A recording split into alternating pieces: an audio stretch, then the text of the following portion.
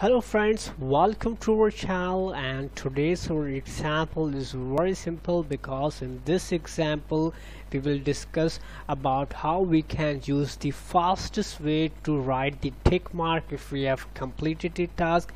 And if the task is not completed so we just use here cross. So you can see here we have made the total number of uh, task and we need to write here the status if the task is completed. So I just the tick for completed and you can see here we also use the report here in which we got the completed figure 1 and if I again select the task to completed so you can see here we got the 2 and for the incompleted task I use cross. And you can see here the report incompleted. So we will discuss today how we can uh, use or how we can make the fastest sheet by using the such type of signs if we have completed a task so how we can use the tick or how if we have not completed task so how we can cross mark. In the same way how we can make the conclusion of the report. This is all we discuss in our example from the scratch. Let's start our example from the beginning and first we select the cell and write here the total assignments and in the assignment we have to write the task. So I just write here the task 1 for the sake of the simplicity. You can write the task as per your own need.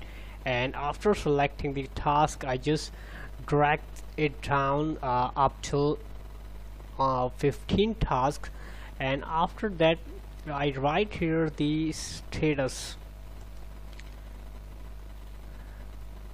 Now now I need to write here the status of the task. Like if the status is completed so it should give the tick.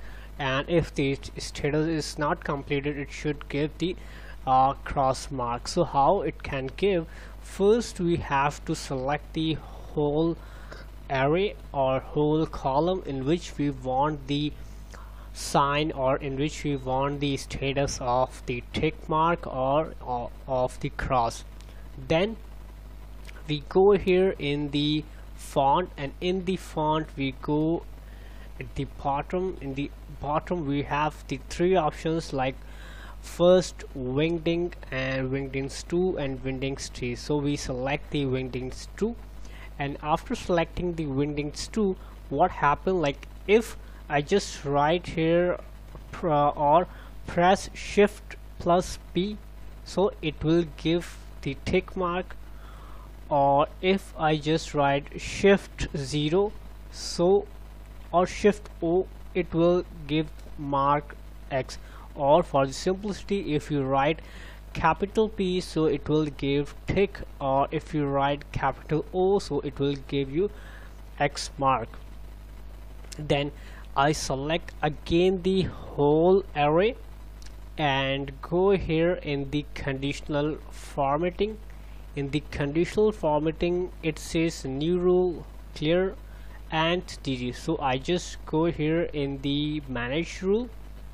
And in the manage rule first I give the new rule. And in the new rule you can see here the different options. I just go here in the format only cells that contain and in this format we go here in the specific text and in the specific text we write here P which means our tick mark and if we write here tick mark so we go here in the format and in the format we want the font in the bold and in the color we require the green I just press OK and again OK.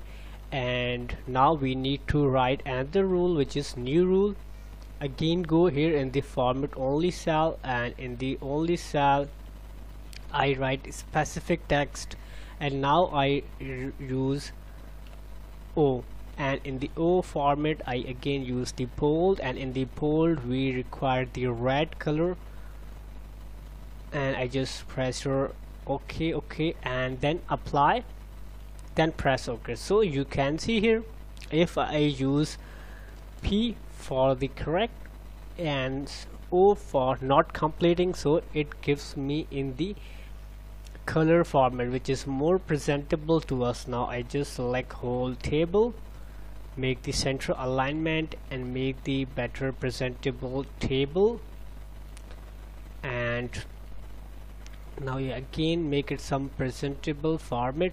So we have completed our one task. Now for another one which is we need the report. So I just select the two cells and write here the report. And in the report we have first one is uh, completed.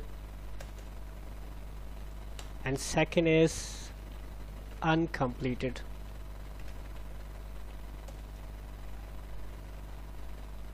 so we have the two data. How much tasks we have completed and how much tasks we have required or the task that is uncompleted. So first we write here equals to count if and in the count if function it says select range. So we select the whole range comma then it says criteria. So in the completed we have the tick and for the tick we use capital P. So I just use capital P inverted comma and close bracket. So we got the total count which means 2 so we have used the 2 tick. And again the same function for it like count if bracket open. We again select the whole range and there for the incompleted task we use capital O and inverted comma close and bracket close. So we again got the two. Now I just make it more presentable and make it more better and attractive for the audience. And now you only need to make it more presentable you can change the presentation. Now if we have completed the task we can use here P capital P.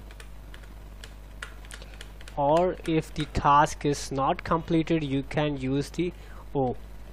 So you can see here whenever I use here tick which means P capital or for the small shift plus P so the completed task digits increases and if I just increase or if I just use here 0 or capital O so the completed task decrease by 1 and uncompleted task increase by 1 this is how you can put manually the tick mark for the completed task and cross for the incomplete task. This is the fastest way you can use these types of symbols. If you face any confusion in this example please write in our comment section. Hopefully we will make another video or we will respond in this same comment